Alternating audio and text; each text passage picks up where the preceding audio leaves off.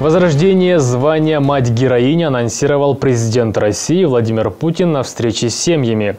Ее участниками стали обладатели ордена «Родительская слава». Напомним, им награждают семьи, которые воспитали семь и более детей. Медали «Родительская слава» достаиваются семьи, вырастившие четырех детей. Глава государства на встрече объявил об учреждении единовременной выплаты получателям этих наград.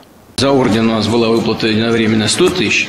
За медаль ничего не было. Вот я предлагаю за медаль установить единовременную выплату 200 тысяч рублей. При вручении самого, самого ордена «Родительская слава» вместо 100 тысяч рублей, как это вот было до сих пор, единовременно выплачивать 500 тысяч рублей.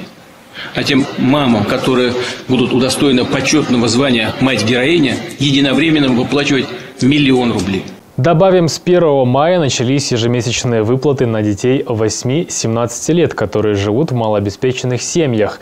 Также в России действуют выплаты на детей до полутора лет, от полутора до трех лет и от трех до семи лет включительно.